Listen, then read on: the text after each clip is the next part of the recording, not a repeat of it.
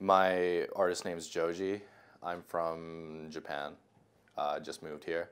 Um, Mhm, yeah. you Tell me like how you first got into music, who convinced you to do it, or was it? Um, yeah, it was really weird actually. We, I had, I was growing up with, uh, I had two friends that uh, we we always made music together, um, and we were making songs before we knew we were making songs. Like we, we would we'd be silly and we'd make songs about like you know a, a teacher or like if we were like making fun of a kid, we'd make a song about a kid, which you know never do that, but you know, we, we, were, we were doing that kind of stuff. And then one day, I think we were in like sixth grade or something, someone steps in and is just like, wait, like, these are actual songs. And we're like, what? Like, what, what do you mean? They're like, yeah, like, you know, like it's, it's not easy to make a song. So from there, we were like, oh, we're making songs. That's cool. And we just kept kind of making songs. And through that, like just through fucking around, we learned how to produce, how to, you know, just train our voices, um, and just kind of learn from the internet um, what was what was popping all throughout then, because that was when the internet was starting to kick off, and we were learning and doing all kinds of stuff. Were you always uh, producing like on a laptop on GarageBand or whatever? Or? Yeah. So were there any like MIDI keyboards involved? Or were you guys just like finding loops and? Sometimes we use like keyboards, MIDIs, and stuff. Depends on who I'm working with, but really, really, we just we're drag and drop. You know, we're obnoxiously just spewing onto the canvas. What stands out about that first like six months or a year that you are gonna remember down the road? Um, definitely, in this first six months, I learned in America that the people are more unpredictable. Because everyone's more individualized here. I come from a place where, um, you know, stand in a line. You know, you're just you're part of the you're part of this bigger thing. You know, so everyone just kind of had these had these like stabilized egos. You know, everyone didn't think they were more special than anyone else. You know, it was all normal. Not normal, but you know. And then I came here, and and there's people constantly trying to one up each other. You know, and people. It's not bad at all. Like I'm saying, it's it's it's great that there's this much individuality amongst the people. But it was kind of like a little culture shock that one individual can can can while out. You know what I mean? Yeah, I can see how that totally goes like both ways. Yeah. You know, it's like less less stress and less expectation or less pressure on yourself, I guess, on one end. But Yeah. also like you can take a step back and chill Yeah. for a moment. Um, uh, let's go over here. Okay, so getting into your actual like music and art, um, you express yourself through a lot of different mediums. You know, Yes. videos, uh, vlogs, book. Um, what makes you want to make like this Joji music on top of all that? You know, what, what do you get out of it creatively that you don't get like from the other stuff? Well, I get I get everything creatively from the Joji stuff. The other stuff is just, uh, I mean, I do it, um, but it's more formula based, um, and it's me not using my own sound and own voice. I mean, I am, but the Joji stuff is definitely it's it's the the sounds that I, I want to hear that take a lot of effort that I wouldn't I wouldn't put that kind of effort into uh, the other mediums. You know, there's definitely more. It's a connection to to the music that I want to make and the sounds that I want to hear, which are completely different from the other stuff, which is more formulaic. Uh, excellent job on Hot Ones. Thank you. That was a that was a great episode, and you said at one point during that that you didn't know if people would embrace your serious stuff Right. as as Joji. Um, what finally like gave you the confidence to be like, all right, this is it's time for like this to be my Just general uh, biological clock type shit. nice. You know, it was like, uh, like, am I am I just gonna like kind of do this, or am I am I gonna move on and you know make make bigger and better stuff? You know, because that's really what it's all about. Like, I just want to push myself and test in all creative mediums. You know, just how far I can go, how good of you know content I could make in general. Yeah, there's been a really cool like textural element to your stuff recently that I've been noticing. Mm, thank you. Rain on rain on me, and like these Yeah. extra touches that I think are really telling of um, yeah, like someone getting comfortable with Mhm. that kind of thing. Um, do you think you would have done this like focused on Joji earlier if Pink Guy and Filthy Frank didn't take off like they did? Yeah, yeah, yeah. I mean, everything was everything was based off trial and error, you know. So if if something didn't take off, then I would get the I'd get the point and move on to the next thing immediately. So I would have just kept trying until something took off anyway. So I definitely yeah. If, if the other stuff didn't work out, then I would have gone straight into straight into Joji stuff. I was doing Joji stuff anyway, always. I just wasn't releasing it publicly mm-hmm. at the time. Do you have like a trove of unreleased stuff? Yeah. You think you'll Yeah. just keep in the darkness in the vaults? Or? There's a lot of unreleased stuff that because like there's stuff from like seven years ago. So there's stuff from high school that I, I i listened to and it's like good enough to maybe put out as like a 30 second thing but like it can never evolve into something greater. But obviously i'm not going to put those to waste. Like i'll either save those for like a maybe one day like a collective of of just like i'd like to release a little mixtape of all the beats and things that i've put together Like those old Dilla tapes and stuff? Yeah, exactly. Something like that. Yeah. But once I reach the level, of course, I can't. I can't just do that now and be like, you know, check me out. I, uh, yeah, that's like, I think one of the, maybe frustrating is the wrong word, but like half finished ideas that you don't want to go back to, but you Mhm. don't want to abandon to. I Mhm. think is like one of the toughest things about It is tough. Yeah. like, being a musician. Yeah. Um, so what are your, yeah, we, I feel like people, when they talk about your music, they're like, oh, Joji is serious now. This is serious Mhm. stuff. What do you think about the concept of like serious music in general? I yeah. The with serious music, I never like put too much thought into it. I mean, there is a clear like you know this is joke music and this is serious music, but I was just creating what I felt like creating. You know, like I I like making fun things, funny things, and I also you know everyone has a fun side and a serious side. You know, so to me, I didn't see a difference. Just the way, um, I don't know, someone like Ugly God, right? He he raps about some some pretty like fucked up stuff, and half the people consider him comedy rap or meme rap, and the other people just consider him whatever. But to to me, that's just people who make music like that. Like if it sounds good, it sounds good to me. You know, it doesn't matter what the intention is, as long as it, it sounds good. So if if they were to say that Joji's coming out with like different music, then that's right. But serious music, uh, that's just open to discussion. Um, you ever incorporate any more rap into your Joji music, or get rappers on songs, or Getting rappers on songs, hundred percent, as well as making beats for for rappers. That's that's fine. But I don't think I'll be uh, incorporating rap into Joji music. I don't think I don't. Well, first of all, I don't think I'm that good. Like I don't think I have a right to just step in, like like a white guy stepping in and being like, hey, you know, now I'm gonna now I'm gonna rap. You know what I mean? At least back then when I was doing it, I was doing it as like a as a gimmick. You know, so I knew my place as a party rapper, but I don't want to get mixed up in that kind of stuff. you're in the unique position of starting a music career as a new artist, but you're already pretty well known and have a huge following for something else. What's that like, and how are you navigating that? Competing fan bases. Uh, it's interesting. The fan bases, um, I believe, they, they get into a lot of arguments often. Um, it's quickly it's quickly unifying though, um, from what I've seen. Uh, when I'm out on the street, it's 50-50.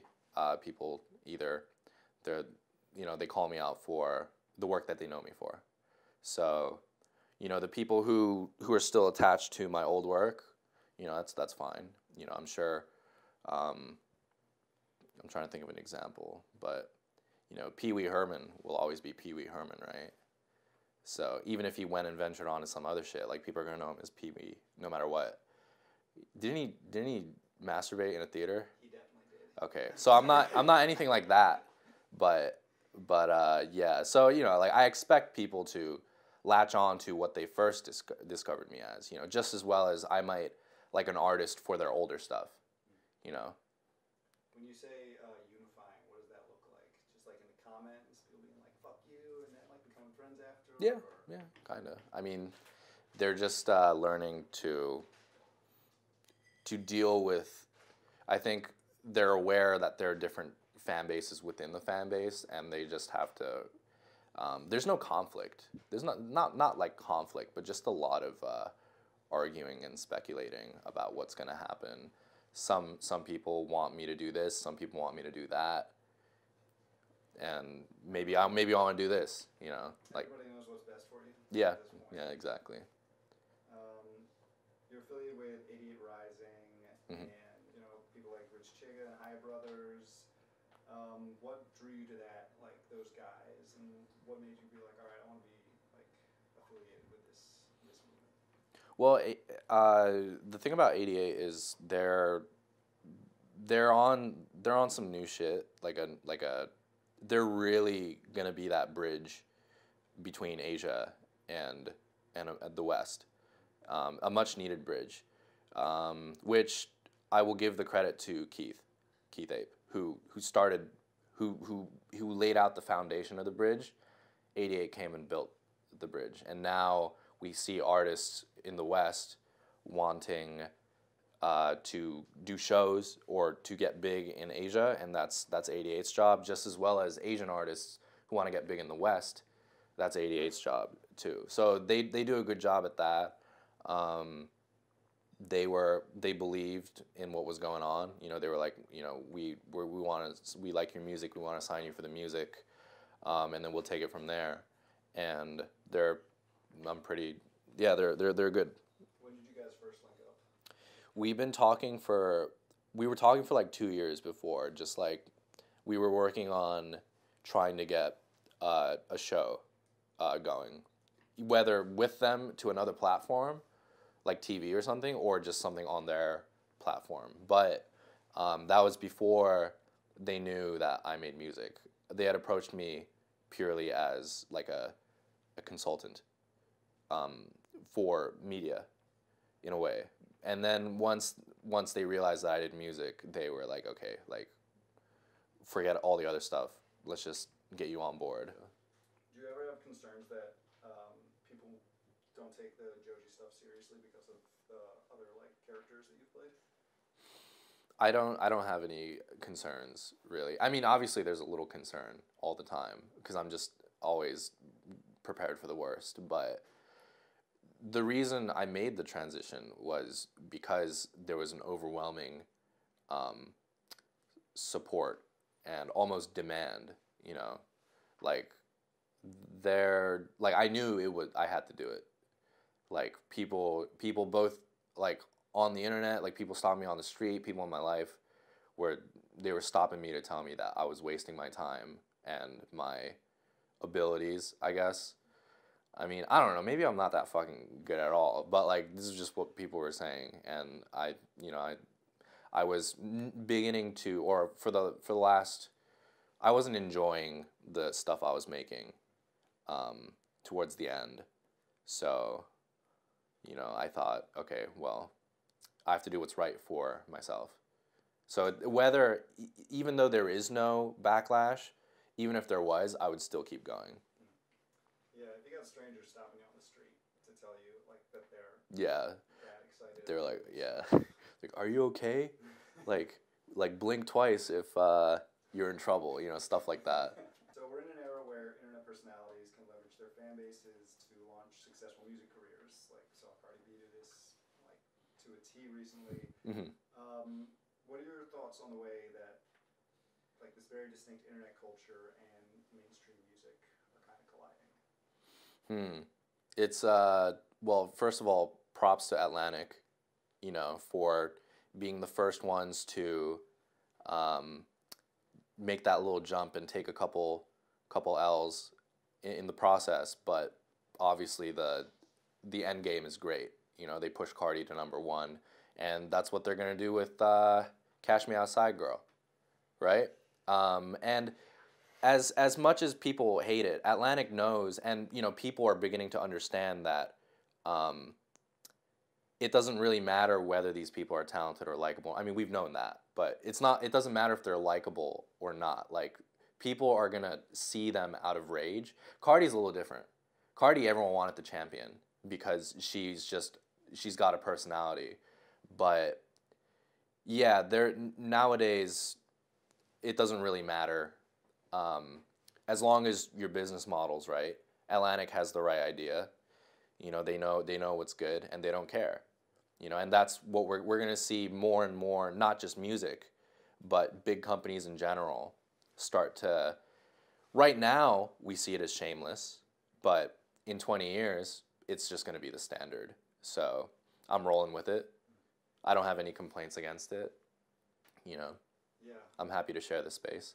The uh, the whole concept of hate watching, I think, is super like indicative of what's happening at large. Yeah, yeah, because when people people are like, oh, like check out this guy, like he sucks, or like they like people make videos talking about like something that shouldn't be famous, but like they're clearly making the video so they could get a little bit of clout.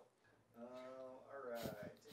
Yeah. Oh yeah. Could you just um, tell us about the, the Joji project that's coming? Yeah. It's been rumored for a long time. Mhm. Did you start working on it? How's it grown and evolved? Anything, Mhm. Yeah, there's definitely the the project is uh, it's important to me. I mean, obviously, like it's but uh, yeah, I started. Some of them are songs that that I I had a long time ago that were never intended to be released, and then I I just worked on them a little more. A lot of them are a new sound that I've moved on to. Um, when I say new sound, like it's still the same textural stuff that you were talking about, but it's a little more advanced. Um, and it was originally going to be a album, but because there were some internal problems uh, in general that if if we if we were to put out an album, it would have to come out next year, um, and I didn't want that. So I said, okay, fuck it. I'm gonna I'm gonna get a lot of the best songs on the album, just shove it, crunch it into an EP, um, so that the the fans can have it earlier, and then I just work on on the the next one pretty much. When you say advanced, um, does that mean like a greater like range of instruments, or just like higher quality production, or?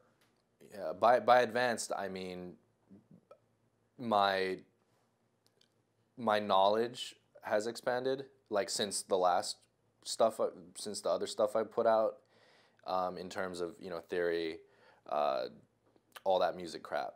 You know what I mean and also just like I like I'm always like learning new things here and there and with every trick new trick you learn that opens up like a 500 million opportunities to do something you know so yeah basically um, my my production and songwriting gets better uh, every time at least i hope what's your education look like these days? Are you like, which books are you reading? Which videos are you watching? Is it like something Mm. you're listening to that's opening you up, or? I'm definitely i'm studying a lot of of uh, mumble rap. Because i like it. it i think it's fun. Studying a lot of that. Um, i'm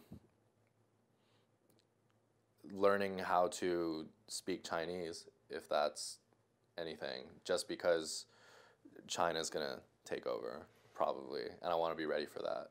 Yeah. You know. and just musically, I think like opening yourself to a whole different Yeah, expression is, is a good idea. yeah. I'm trying to learn Spanish too, but That one's that one's easier. definitely, yeah, yeah, yeah. yeah it's definitely easier. Yeah. Describe your sound and where it came from. Hmm. My sound and where it came from. Um, it's basically I love the lo-fi sound. Um, I grew up listening to the lo-fi sound. I remember I was really into um, in like middle school, early high school. I was into uh, like old school like boom bap with kind of that lo-fi sound and to because I wanted to hear more of that sound mixed with modern stuff. I started getting into listening to a lot of lo-fi modern hip hop and beats on SoundCloud, which which really kind of opened the door for me. Um, and also, I like to keep the the instrumentals very, very textural and all just like what like whether it's water trickling or something. I just want to make sure that the the instrumental is packed and full with with just sounds that make you feel good, you know, or make you feel nostalgic. Like a lot of the sounds I try to go for nostalgic sounds. There's a lot of nostalgia based stuff around the the music. My um, there's a song called "You Suck Charlie" that I did. Um, my logic behind that was so I sampled a a Charlie a Charlie Brown Christmas special song, and I thought that song was special because this is like realistically speaking, like single people get like lonely and horny around around Christmas. You know what I mean? And when they so for a lot of people, when they hear Christmas or, or think about like the holidays, you know, they get lonely and horny. So so I took that song, which everyone low key knows, you know, like it's a song that like maybe you can't like really pinpoint it, but you know it's Christmassy and you know it's jazzy. And I think that makes that song makes people kind of kind of horny.